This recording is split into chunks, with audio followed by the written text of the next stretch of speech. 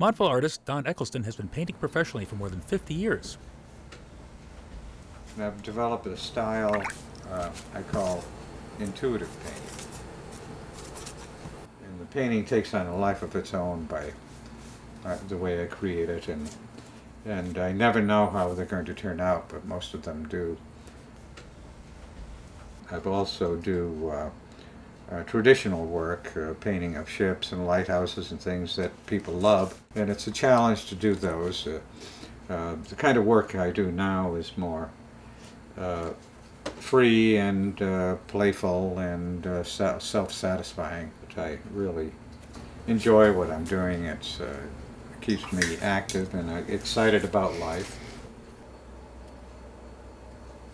I never have a preconceived idea of what I'm going to paint, so that makes it more spontaneous and and gives me a lot of freedom to to um, have the, the work turn out as they do. Don Eccleston's paintings will be showing at the Waterford Public Library through the month of November. This is Tony Bacewicz reporting for Patch.com.